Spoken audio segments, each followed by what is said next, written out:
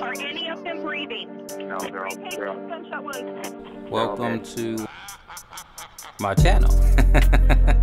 so anyway, um, first off, I'm gonna introduce myself. This is everybody call me Killa. In fact, I can't even say that. People call me Skills. People call me Free Body Bags. Call me Skills if you want.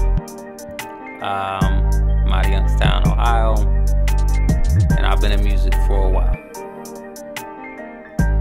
Lot of people are like, you know, well, are you a rapper? Eh. Some people call me that, but nah. I used to rap with the group uh, Bob Institute out of Battle Creek, Michigan. Uh, also, uh, I had some had an album by myself called Introducing. I was part of a group Booney Click at that time. Uh, my brother uh, and me out of Youngstown, Kid Mental.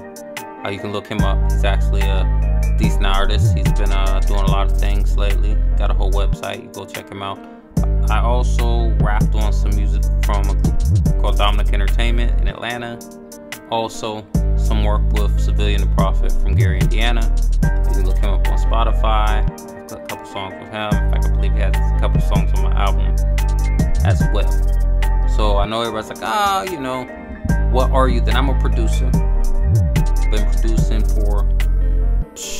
Since since the early 2000s. I've most recently some with Amber Nicole that you can from South Carolina that you can find on my page, and Dustman uh, from Official Records out of the DMV. And I also have other work and ongoing projects. Mostly, what I do besides producing is I'm a writer. Anyway, that's an introduction to me. Uh, I plan on talking about music weekly and things of that nature. Uh, how often that depends on y'all. And like I said, if you need beats, tip me up. Uh, until next time.